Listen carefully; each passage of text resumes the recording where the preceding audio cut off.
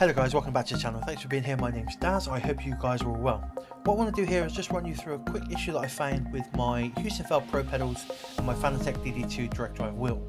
What I found was when I was using the uh, the pedals, when I moved the steering wheel, as you can see here, on the bottom left on the telemetry data, you'll see that I'm actually getting some feedback or interference in the accelerator and the brake as I move the steering. Now, looking at the raw data within the, the iView, which is what you use for the Heusinkveld Pros, um, I've got it set so the, the, the black bit is basically what's being read by the game, uh, black number. So I've got it set so it's not actually being activated, but because there is interference going through, it is still activating um, in the game. So what this basically means is if I'm in like something like NASCAR, I'm on an oval and I'm turning left, as I'm turning left, basically the game is braking for me or the, the pedals are being interfered so that it thinks I'm, I'm braking slightly. Now it's not much, it's only a tiny little bit, but when you're up at 200 miles an hour and you're slightly braking, that's slowing you down. Obviously, that means that you're not going to be winning races or keeping up with the pack. Um, so this is a slight issue that I found, and it's actually a really quick, simple fix to actually get around it. So what you basically need to do is ground the pedals. Now, Heusinkveld sell a grounding kit if you want to buy it from them. Um, pedals normally come with them as well, they say um, on their website, but because I bought these second hand, I don't have that grinding kit, so I just needed uh, to be able to grind them. So the quick and easy way was obviously to go to Heusinkveld and get them to send me the grinding cable, but that could take a while, especially with what's going on in the world at the moment. So I actually went to Amazon and just bought a Molex cable. So if you go to the Heusinkveld uh, website, and I'll try and remember to link it down below, um, you can actually see how you do this, and it's a very simple fix. All you need is a Molex cable, and then you just ground that onto the pedal, and they actually show you where to ground that as well for best use or best practice.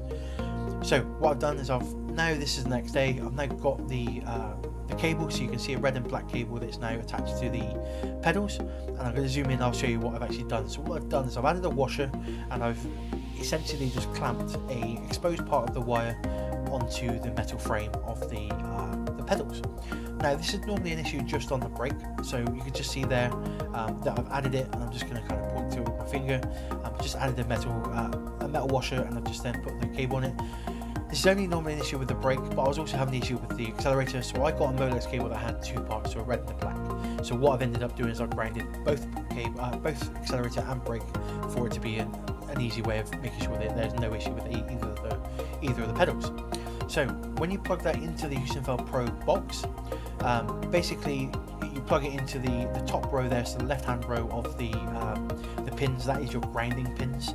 Um, now what I've done is I've just wrapped a bit of electrical tape just to make sure that the contacts on the bottom don't touch. There's an exposed part of the Molex cable, so I just didn't want it to touch, so I just made sure it doesn't. So I've just wrapped it so it doesn't, make sure it doesn't touch and there isn't any um, feedback issues on that way.